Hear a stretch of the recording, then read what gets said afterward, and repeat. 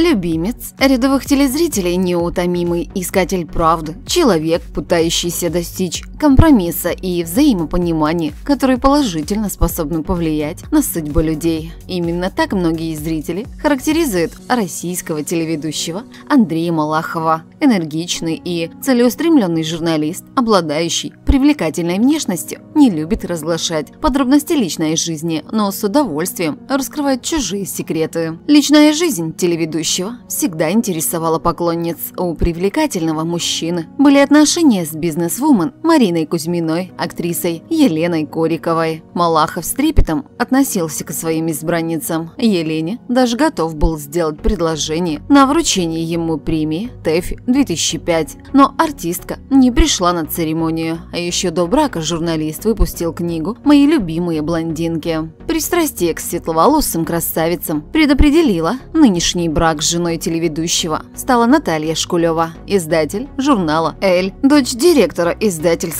дома. Хешат Филиппович Шкулев, ныне Андрей Малахов, главный редактор журнала Стархит при издательском доме тестя. Известно, что Андрей и Наталья познакомились на работе, впервые совместно вышли в свет в сентябре 2009 года, где позировали для фото в качестве официальной пары. Изначально пара жила в гражданском браке, а в 2011 Андрей Малахов и Наталья Шкулева сыграли свадьбу в Париже. Торжественное мероприятие прошло в Версальском дворце. 15 ноября 2017 года в подмосковной клинике Лапина Наталья Шкулева родила сына Александра. Сын Андрея Малахова родился поздно вечером, при этом сам телеведущий ждал его появления в палате. Помимо наследника, у телеведущего есть крестные дети – это дочь и сын Филиппа Киркорова. Тележурналист ведет персональную страничку в Инстаграме, где анонсирует самые интересные выпуски своих программ.